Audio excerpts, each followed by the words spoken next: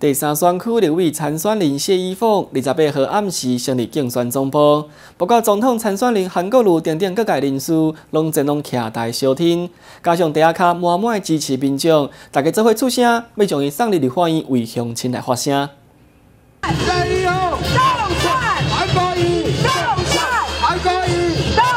谢依凤竞选总部成立。总统参选人韩国瑜等等各界人士甲支持民众到场收听，整个会场的乡亲是非常的多，非常的壮观。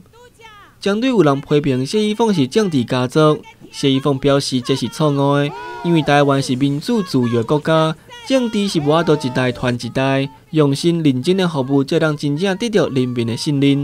立法委员是用每一个选民一张一张的票所选出来。政治没有办法实行，政治没有办法实行。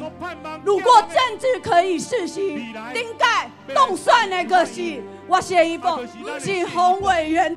台湾是一个民主的国家，你无法度叫一个做老师的囝，卖去做老师；你无法度叫一个做医生的查囝，卖去做医生。